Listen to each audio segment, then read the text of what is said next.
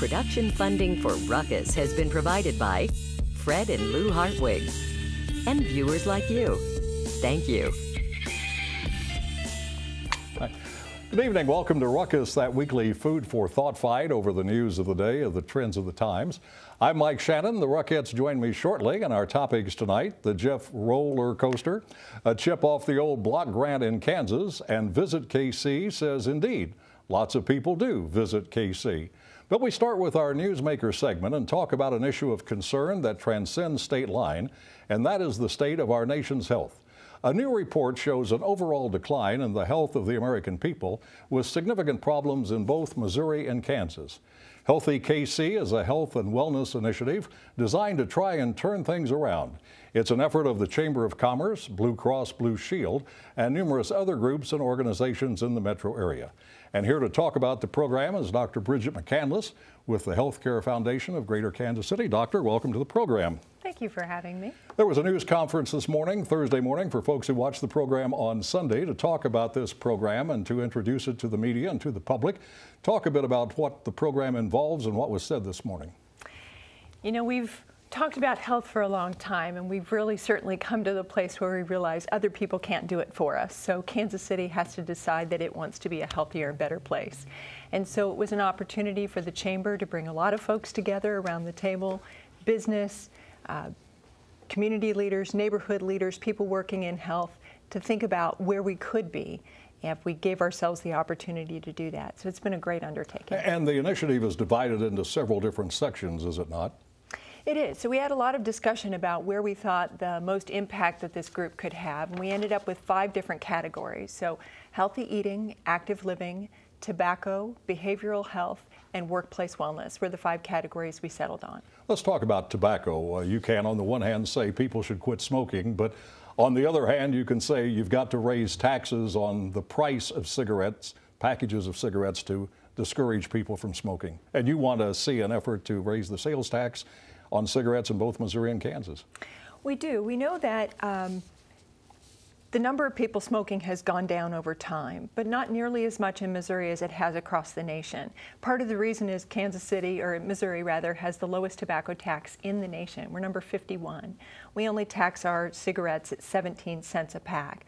And so we know that price is one of the big things that keeps teenagers from starting or keeps them from smoking more doesn't always work for people who've been 50 year smokers who are a two pack a day. They may make the choice to smoke fewer cigarettes, but the real bang for the buck from help comes from getting kids not to start. And you're not excited about the electronic cigarettes either, are you? You know, I think that there's a lot to be learned about what the health impact of those are.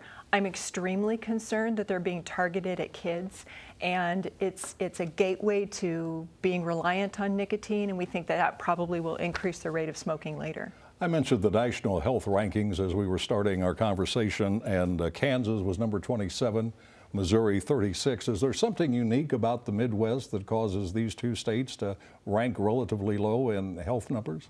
Well, the sad part is we didn't used to be there, and we've been sliding in our health rankings over the last 25 years. Part of it's smoking, part of it's inactivity, part of it's our choices around investing in access for health care for people. Neither Missouri nor Kansas was a state that chose to expand Medicaid. So there's a lot of people who don't have the option of preventive care, counseling on nutrition and exercise. Um, so I think all of those things are part of the reason we're so low. Healthy Kansas City is going to lobby for a Medicaid expansion in both Missouri and Kansas? Certainly the Chamber has chosen Medicaid expansion as one of their biggest initiatives, uh, both for the health impact but also for the financial impact for both states. It brings a lot of federal dollars in to allow us to both support the hospitals in rural and urban areas as well as make sure that people have the option for uh, getting care when they need it. How will we know if Kansas City's health is improving? Always a hard question. Um, you can look at health metrics for disease states, so heart disease and cancer and diabetes, but you can also look at activity levels, how many people are smoking, what are they drinking, what do they count as their mental health days, whether they're good days or bad days. So I think that there's lots of different ways you can measure it. One of the things about the Chambers Initiative is that they tried to put some really concrete objectives around those that they could measure. What about the race to the moon? Can you explain I, that briefly? Sure. I love this idea. So this is just to get people out to do collective activity. And it's nothing fancier than a pair of tennis shoes and a pedometer way to count your steps. And it's a billion steps to the moon and back, and I know that Kansas City can do that. And we're going to look at challenging another Midwest city to see who can get there first. And finally, when I was a little kid, I used to hear adults, my parents say, when you've got your health, you've got everything. And as you grow older, you realize how true that is. Absolutely, but we also know that it takes a lifetime. The great news is it can always get better. So small steps make great changes, and even if people make some small um, improvements in their health, it pays off big. We'll keep track of this. Thank you very much for coming in. A pleasure to meet you this morning. Thank you very much. That's Dr. Bridget McCandless with the Healthcare Foundation of Greater Kansas City. Now let's meet the Ruckettes and start a ruckus.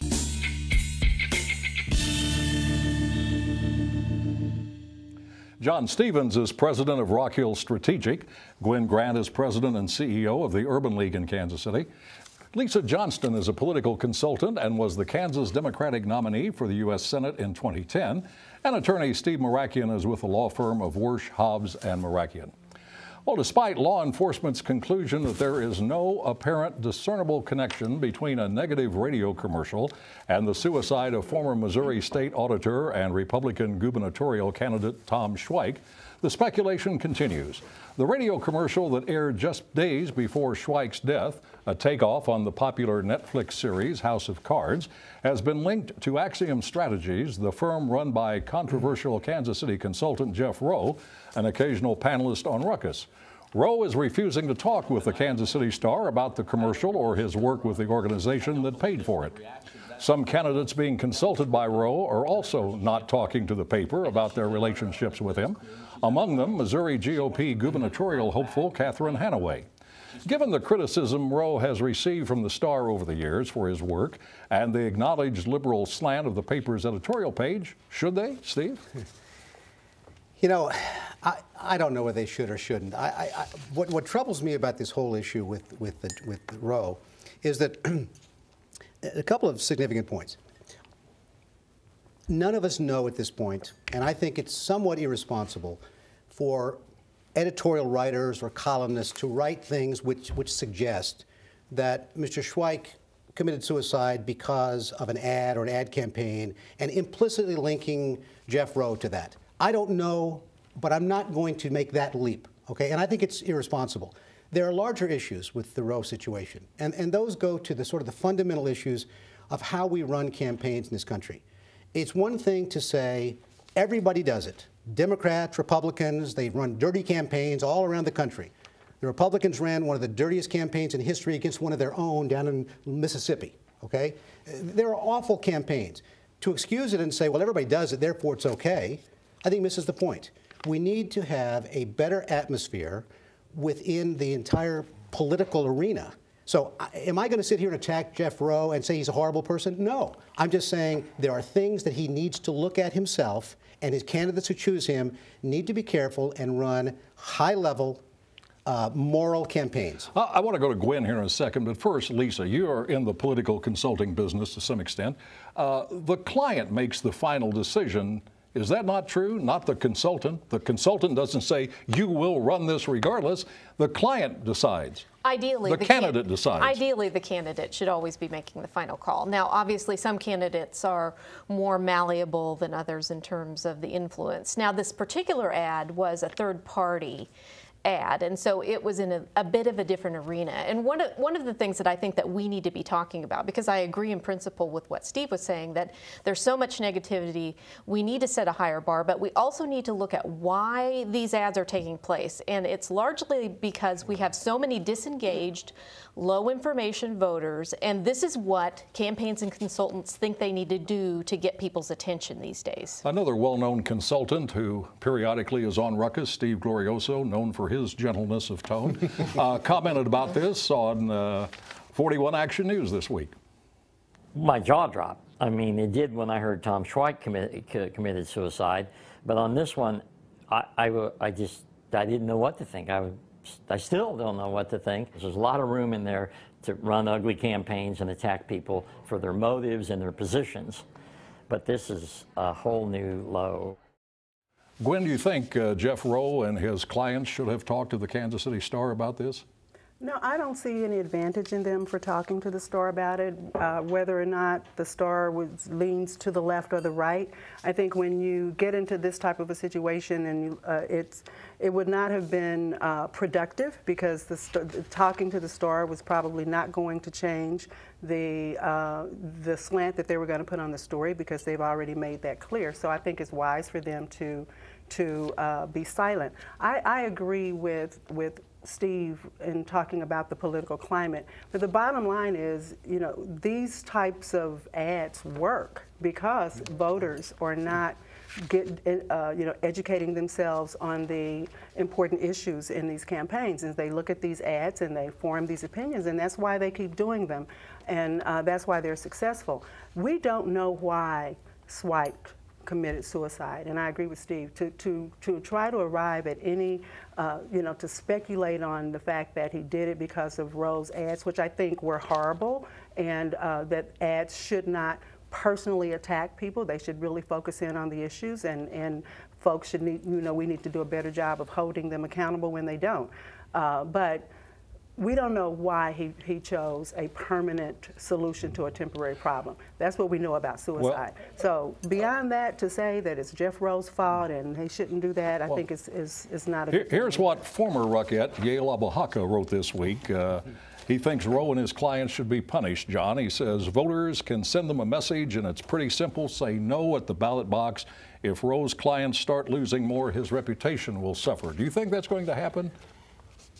Perhaps, but I, I, think the bigger issue and the bigger discussion that needs to be taking place is uh, not about what the motivations for what occurred, and, and, and beyond that, do even with the politics and do these type of uh, ads work? I think the bigger issue is the the anonymity of some of these third-party things. It, it pulls the candidate out of being accountable for these issues, and I think that's a bigger issue that we really should be focusing on. All right, aside from death and taxes, I think Kansans can be assured of a third thing unending, torturous debate over how much to spend for education and how the money is divided. The school finance formula is always confusing and chaotic. There always seems to be a case pending before the state Supreme Court over how to interpret this sentence in the Constitution. The legislature shall make suitable provision for finance of the educational interest of the state. Simple. The legislature and the governor just tossed out the most recent formula and have approved block grants to the state's districts. Under that system, the state sends a specific amount of money to each district, and then each district decides how to spend it.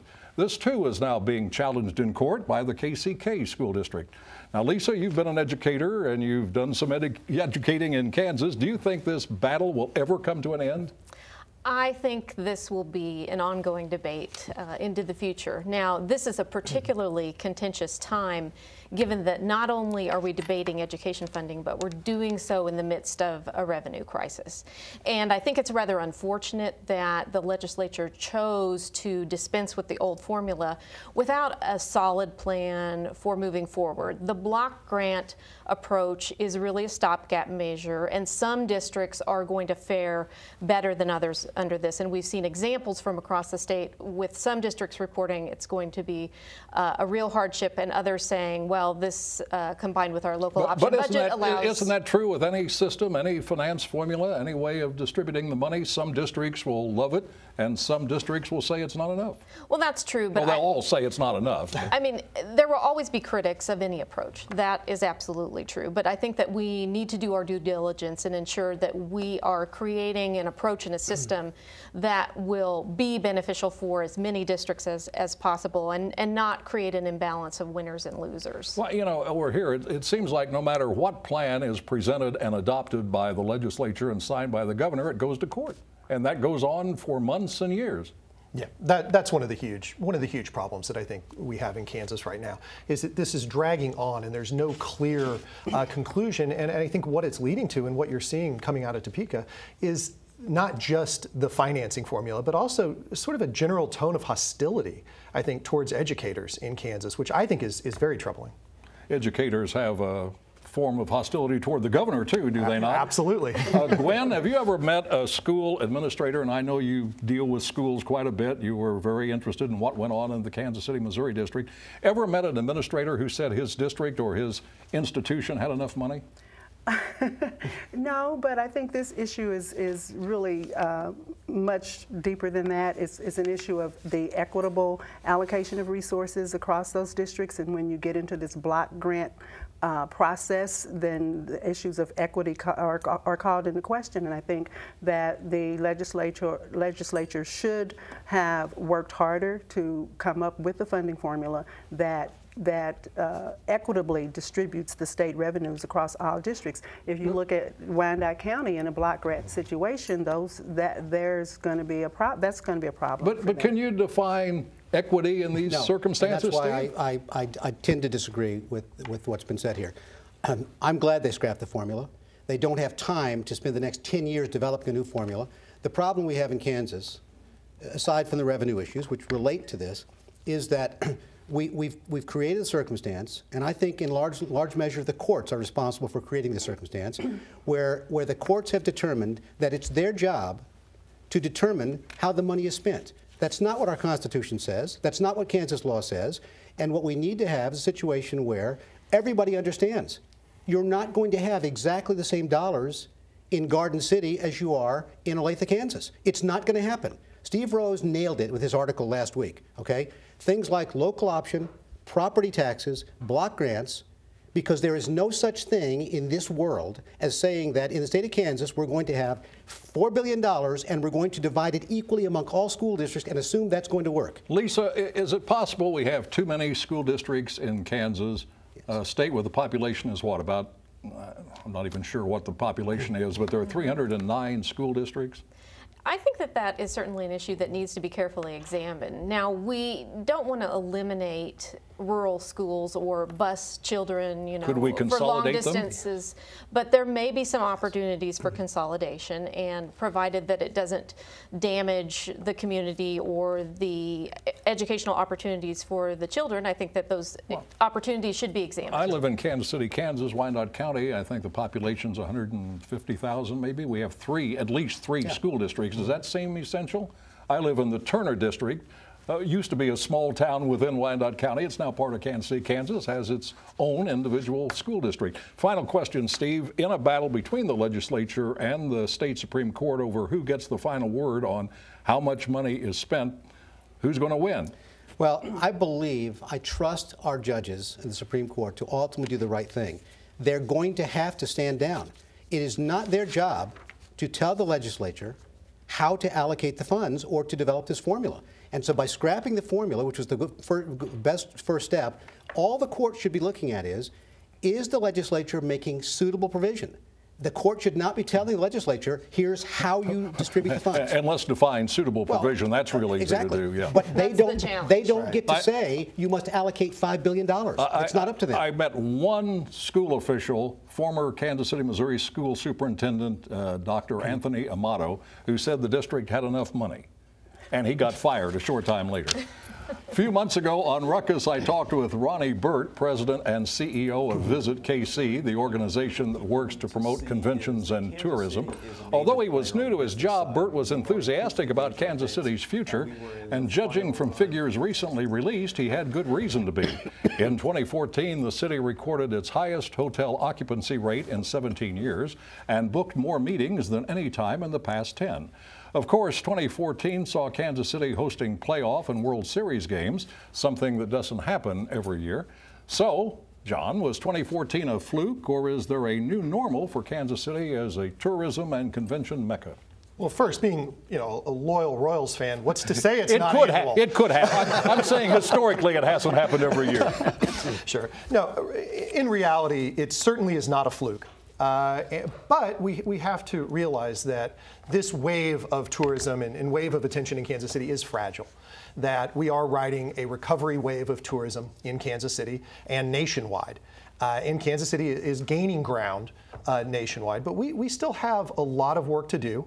Uh, we still uh, struggle with a lot of things, and, and we need to look I think as we make planned investments that benefit residents and tourists alike, we need to, we need to make some conscious planned investments uh, to preserve the growth for the future. Like a downtown hotel, partly financed by taxpayers? I think certainly like a downtown hotel, but it has to be the right investment. Well, if we're getting all these conventions and meetings in Kansas City, Gwen, uh, apparently the hotel rooms are sufficient for those folks. Why do we need another thousand rooms? Well, you know, I agree that they probably, we do need another hotel. I just, I'm concerned about how you finance it. I, mm -hmm. I don't think it should be financed with tax dollars at all. And so, you know, if we're generating the, these, um, these bookings here in Kansas City, it's outstanding. I think I commend the um, uh, Visit KC team for all of the success that, they're, that they've achieved. I would love to see a downtown hotel. I think the streetcar running up and down Main adds to that. That's, that's nice. That's the, the tourist attraction. But it needs to su support itself. Is a streetcar system a tourist attraction? Do people come to Kansas City to ride the streetcars? No, it's not necessarily. It's an amenity. I mean, it's for the citizenry. It's not for mm -hmm tourist, is it? I, I think that's what uh, that's one of the challenges that we face. Is a lot of people think that investments in downtown, for instance, are mutually exclusive. There it's either for tourists or for for residents yeah. and office workers, and it's not. We we went from five years ago, Kansas City among convention goers, the downtown was rated as one of the worst in America. It's rated as one of the number one amenities for Kansas City now. So it does show that planned investments benefit residents, the, the apartment growth downtown, the new resident growth is, uh, I would say, at a 25 plus year high. Lisa, the Kansas City Star reported that uh, Kansas City shows up on a lot of best of lists for mm -hmm. food, millennials, technology, and other measurements. Is that important? It is, and I agree with the toast that one of our panelists, Woody Cozad, gave several weeks ago when he said that for a city of our size, we have a tremendous amount to offer. And in addition to that, we're very economical compared to a lot of other destinations in the United States. And so I think Kansas City is a very attractive place. Steve, you travel quite a bit. Uh, what do people in other parts of this country not know about Kansas City? They tend to view Kansas City as being essentially a backwater they, they don't know about our sports teams. They, they know virtually nothing about the cultural and uh, like the Kauffman Center. We, we host people all the time who come from foreign countries who live at Fort Leavenworth. They're astounded by the Nelson, by the Kauffman Center, uh, by the parks, the, the plaza. These, nobody knows outside of Kansas City. And if, if you talk to people in St. Louis, they view us like we're Tonganoxie. And, and, and it's too bad. Visit Kansas City has resurrected its film, good verb to use this week, has resurrected its film office. Is that important? Is that going to help Kansas City attract business, well, attract tourists? Certainly, it's a piece of the puzzle. Yeah, I was very proud to, to have played a role in, in that, and and uh, I think that plays a role. And then additionally, the awareness of Kansas City. We really are changing the perceptions nationally and internationally of KC. There's still a lot of work to do. We need more marketing dollars, and and and those you know those national rankings don't just magically appear. It takes a lot of work from a lot of and, people. And quickly, uh, I don't know him well, but I just interviewed Ronnie Burt. He seems like a pretty uh, dynamic guy. Yeah. No, great addition, great addition to Visit KC and to the to the leadership of Kansas City. All right, it's time now for Roast and Toast, where the Ruckettes cheer or jeer people and events in the news. And so let us start tonight with Steve Mirakian. My roast is for Apple CEO Tim Cook for his hysterical and hypocritical rant against the new Indiana religious freedom law. Whether the act is good law or good policy is not clear. What is clear is this. The law does not overtly discriminate against gays any more than the similar law in Illinois that was sponsored by Barack Obama or the federal RFRA that was passed under Bill Clinton with unanimous Democratic Party support. Mr. Cook, instead of your intolerant attack on Christians for supposed intolerance of gays, how about you shut up and stop selling iPads in countries that kill people simply for being gay? That is actual discrimination worth fighting. Gwen? Okay. Well, I'm, I'm roasting uh, Councilman Ed Ford for using his power as committee chair to stifle the democratic process during yesterday's hearings on an ordinance to raise the minimum wage. There was a motion to pass the ordinance forward to the council for consideration, but Ford unilaterally ta tabled the issue in spite of the urgings of committee members and uh, numerous proponents, including civil rights and religious leaders, whose constituencies had overwhelmingly supported Ford's election to the city council. Instead of allowing an upper or down vote on this issue, Ford tabled the issue and did not allow the democratic process to go forward to the City Council for consideration. Shame on you, Councilman Ford. Lisa? I have a toast for statistician Beth Clarkson, who recently filed suit to obtain paper substantiating documents of electronic voting records, given her initial analysis that showed that a statistically greater percentage of ballots were cast for Republican candidates as precinct sizes increase. We need to ensure that our electronic voting machines are working properly in Kansas, and I look forward to Secretary of State Chris Kobach enthusiastically supporting this effort, given his professed desire to eliminate voter fraud. My toast is to the Kansas City creative community. Uh, as we conclude another successful design week, uh, I think it's important that we look at Kansas City as truly as America's creative crossroads. And that creativity and design is the uh, foundation and future of Kansas City from architects that design the majority of stadiums throughout the world, to advertising agencies, to artists and musicians who raise the profile of Kansas City. It's exciting to see that, and it's exciting for the growth of Kansas City. All right, and finally, my annual toast to the Truman Good Neighbor Award Foundation, set to commemorate President Harry Truman's 131st birthday on May the 11th at the downtown Marriott Muehlebach Hotels. The award recipient this year, Lisa, you'll be happy to know, is a Democrat, former New Mexico governor, former Secretary of Energy, and former U.S. Ambassador to the UN, Bill Richardson. As I noted, this recipient is a Democrat, as were the last two before him. But I can assure you from personal experience, Republicans are indeed welcome and they will enjoy the event. Details available at on, uh, online at trumanaward.org, trumanaward.org. And that is Ruckus for this week. Back next Thursday at 7. Now, on behalf of the Ruckettes and the crew, Mike Shanin saying have a happy Easter, happy Passover. Thanks for joining us, and good night.